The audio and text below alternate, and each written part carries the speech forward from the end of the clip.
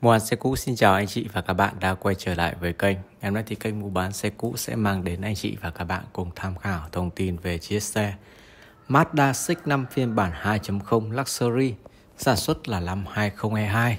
Xe có ngoại thất màu đỏ, nội thất ghế da màu đen, đã lăn bánh quãng đường là 28.000 km. Xe đăng ký tên tư nhân, một chủ sử dụng từ đầu.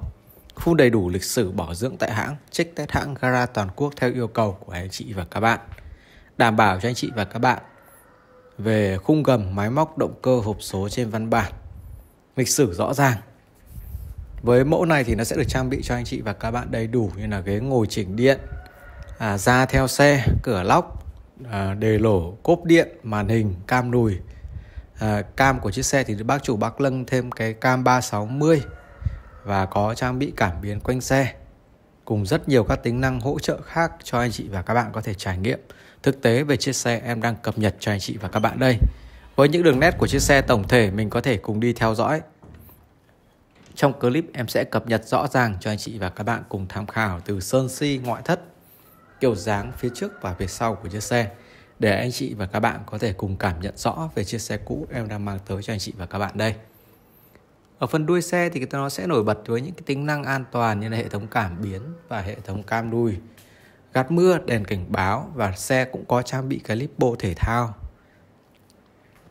Giúp cho chiếc xe nhìn nó ưa nhìn hơn và cốp của chiếc xe nó sử dụng là hệ thống cốp điện anh chị nhé nên cái quá trình mở cốp và đóng cốp của chiếc xe nó rất là nhẹ nhàng. Keo chỉ đinh tán ốc ác của chiếc xe thì còn nguyên bản à, bác chủ thì cũng đã lên cho bộ uh, dán lưng ghế cũng như là thảm sàn đầy đủ hết rồi.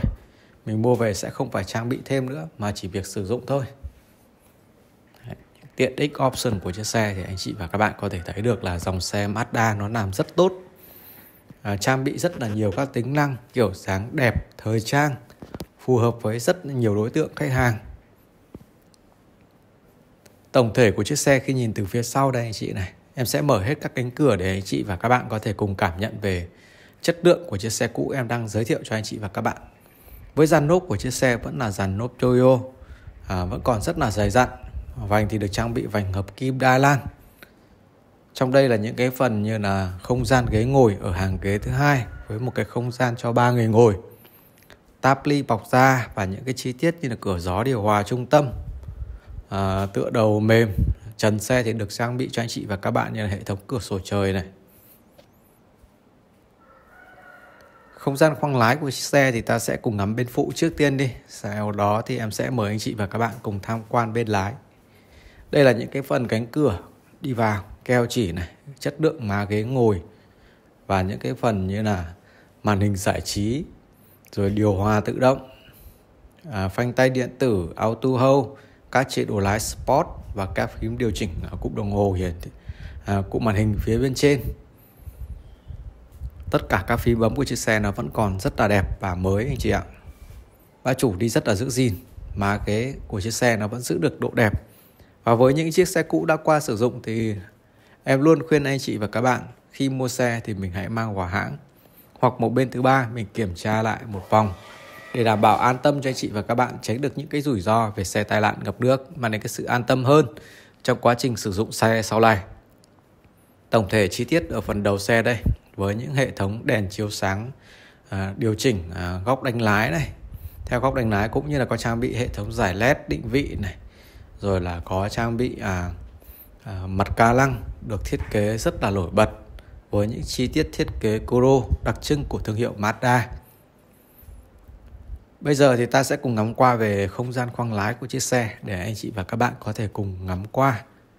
Từ cánh cửa đi vào thì ta có thể thấy qua thì xe có trang bị như là hệ thống giải trí loa bâu, các phím chức năng như là lên xuống kính, hệ thống chỉnh gương, gập gương.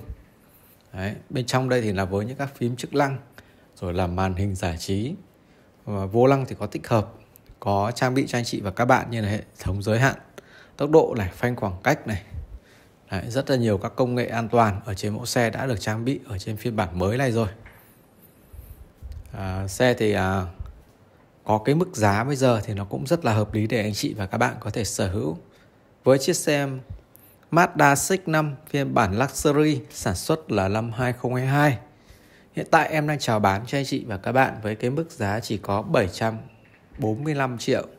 Giá vẫn còn giảm và thương lượng. Có hỗ trợ sang tên check test hãng gara toàn quốc theo yêu cầu của anh chị và các bạn. Xin cảm ơn.